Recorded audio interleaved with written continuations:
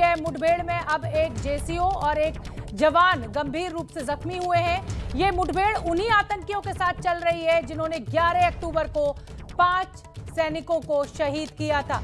नीरज राजपूत, ज़्यादा जानकारी लिए हुए जुड़ रहे हैं। नीरज, क्या अपडेट है इस एनकाउंटर को लेकर?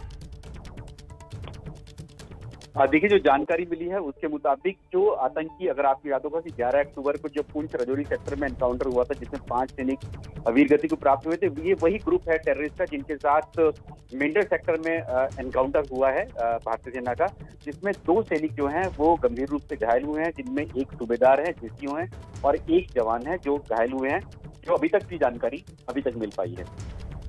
तो बड़ी खबर इस समय की बता दें, पुंछ में जवानों को शहीद करने वाले आतंकियों के साथ इस समय एनकाउंटर चल रहा है। जम्मू कश्मीर के पुंछ में सेना और आतंकियों में मुठभेड़ इस समय। एनकाउंटर में एक जेसीओ और एक जवान गंभीर रूप से घायल हुआ है, ये सूचना भी मिल रही है। इस वक्त भी जारी है, सेना और आतंकियों के बीच ये मुठभेड़। ये वही आतंकी हैं जिन्होंने 11 अक्टूबर को पाँच जवानों को शहीद किया था।